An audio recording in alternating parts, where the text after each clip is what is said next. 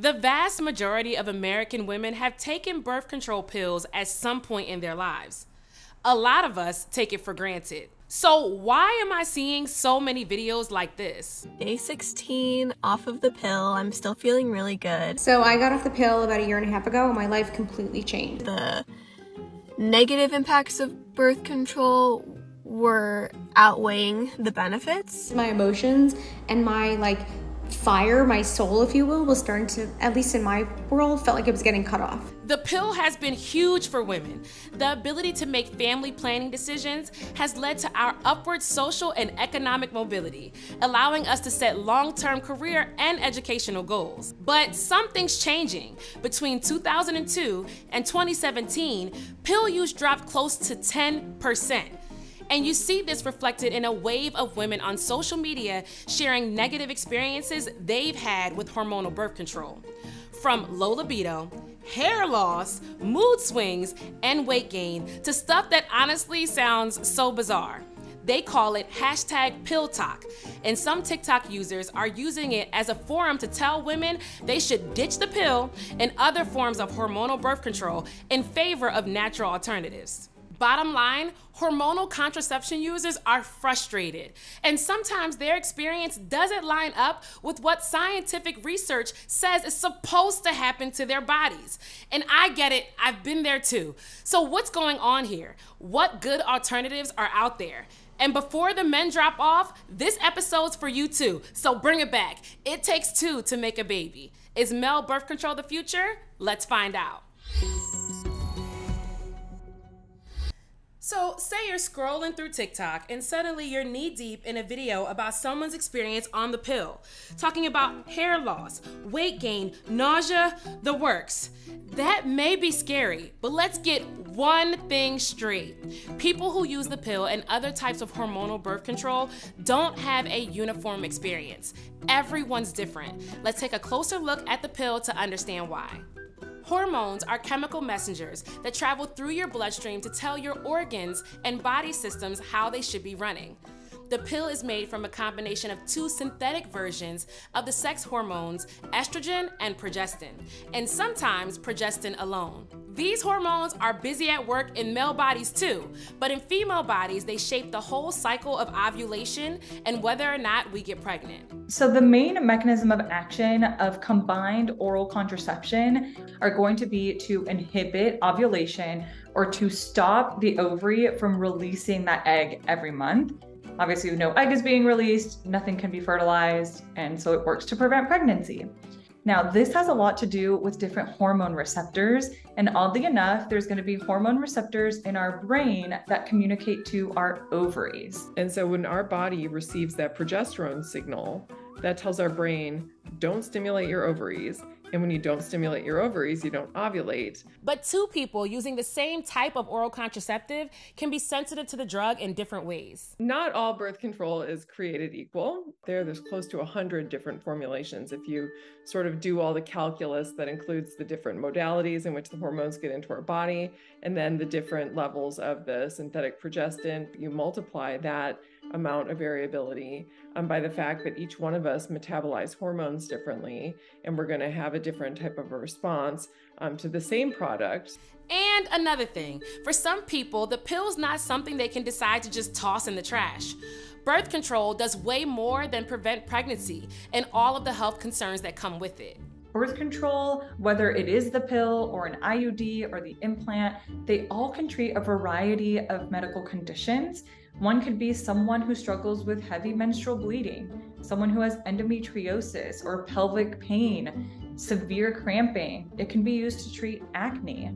It can be used to treat some mood disorders as well. And get this the pill is one of the best tools we have to decrease our risk of ovarian cancer. Women who have ever used oral contraceptives have a 30 to 50% lower risk than women who have never used them.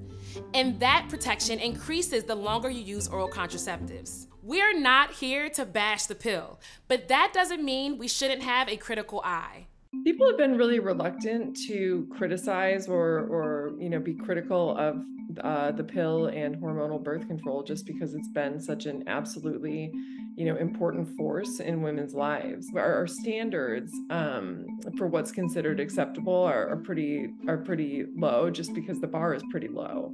Anyone who's been on the pill knows there's a lot of side effects. With breast tenderness nausea for some some vomiting and headaches i would say those are pretty standard and pretty common now the good thing about these side effects is that they're not long term it's usually as your body starts to get used to the medication, they get better after about a month or two of using the medication. But some other side effects that I always like to discuss with patients as well is that one, it may affect your mood depending on the patient. So I always explain to patients like be very aware of how you're feeling, but we do know that there is a correlation with birth control pills and it affecting your libido. What about weight gain, you ask? Well, it turns out various scientific studies actually find that hormonal contraception use does not cause weight gain. But for some women, the side effects are 100% real. Most women who are on hormonal birth control, even if they like their birth control, can still name for you a list of side effects that they that are not particular, you know, not really what they bargained for. When we take something like the hormonal birth control pill, which we're taking for this localized effect on ovulation, it's also going to sort of um, flip switches throughout the body from head to toe. If you take a birth control pill or if you have in the hormonal IUD, those hormones will get into the bloodstream and then they travel everywhere that blood goes.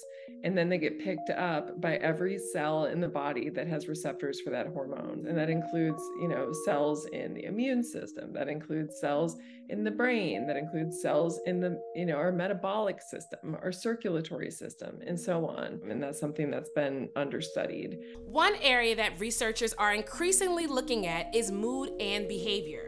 Large European cohort studies have found an association between oral contraceptive use and the risk of depression across the lifetime.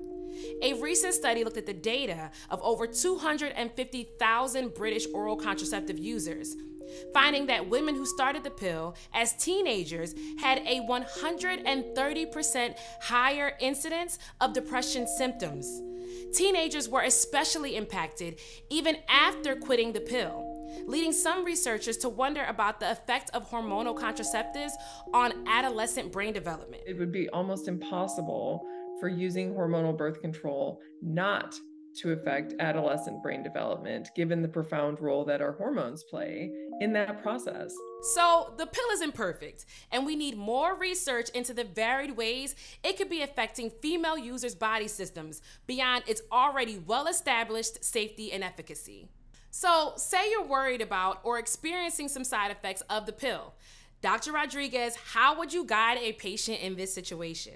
Just because you tried one form of birth control, it didn't sit well with you, you didn't like the side effects, don't knock all the other ones, right? Because, like I said, there's different formulations, there's different doses, and there's different forms. Other forms of hormonal birth control that are available are going to be things like the IUD or the intrauterine device that form only has progesterone only, and also the implant, also called the Nexplanon, that little bar that goes um, in the arm.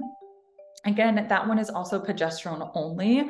The injection or the Depo-Provera. The NuvaRing is a great option. It's a plastic, you know, flexible ring. It's inserted vaginally and it stays in place for 21 days. A lot of people report less of the nausea and vomiting with it. it. Is still a possibility? Of course, um, but it tends to be tolerated more.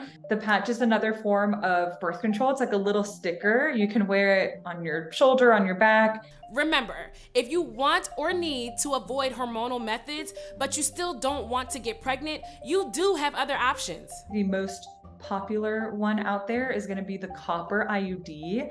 So it is an IUD, no hormone. It just has copper in the little arms of the IUD. And it works by creating a toxic environment to sperm.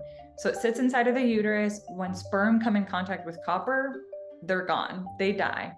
And it's actually one of the most effective forms of birth control that we have available on the market. The other form of um, non hormonal contraception that's available on the market is called Phexxi, and that is a vaginal gel. So it comes in like a little tampon applicator, and this is something that is applied within one hour of having sex. And then obviously, making sure you're tracking your cycle or doing natural family planning, being aware of your symptoms, of the changes to your vaginal discharge, of your basal body temperature. This is also a great form of non hormonal contraception but you also have to have a history of normal periods or this simply isn't going to work. Now, if you're in a position to be off birth control and you have a male partner, or if you're a male watching this wondering what your options are, why not male birth control? I mean, if sex involves two people, why should birth control only be a woman's responsibility? The vasectomy. It requires no use of hormones to anyone involved, and when you compare it to getting your tubes tied on a woman,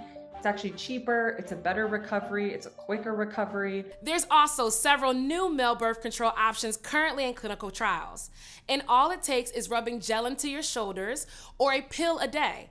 The gel uses the hormones Nestorone and testosterone to switch off sperm production while keeping testosterone at a healthy level to minimize side effects. Unfortunately, the men in hormonal birth control trials reported acne, weight gain, changes in mood, changes in sexual function, and sex drive. I know, I know, these side effects are similar to what women already go through. Now, with all that being said, men are still interested in taking the pill. One study found that 78% to 98% of men, depending on the country, would take it. So, the male birth control trial that I joined was something that I had always wanted to do since sometime in college. I had wanted my own reproductive toolkit or a new way to protect myself and protect my reproductive health, because that's something that traditionally has always been either done via barrier methods or the responsibility of the partner. The researchers were testing a drug called dimethandrolone undecanoate, or DMAU. It's a hormonal form of contraception. Uh, they had like a huge syringe and they injected it into my butt. Uh, and then they had a second visit about a month later where they did that again. In the past, I've had more than one relationship where my partner had struggled with hormonal contraception, and all kinds of different issues came of that medicine. And having something like this drug, like DMAU, where the side effects were so minimal for me, means that I could share the burden, and I really would prefer to be able to do that. I was fortunate enough to be the youngest of five girls. My dad dragged me into Planned Parenthood in a headlock at 16 and asked for a birth control that didn't require me to remember it daily. And I've been on the NuvaRing ever since.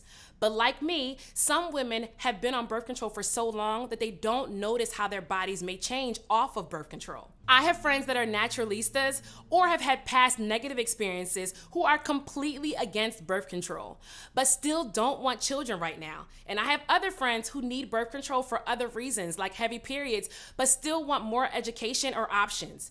I hope this episode finds its way to all the women out there that need to see it, and I hope you learned a lot like me. We love a good health chat. So if you're comfortable, share your journey with birth control in the comments. And men, how do you feel about male birth control?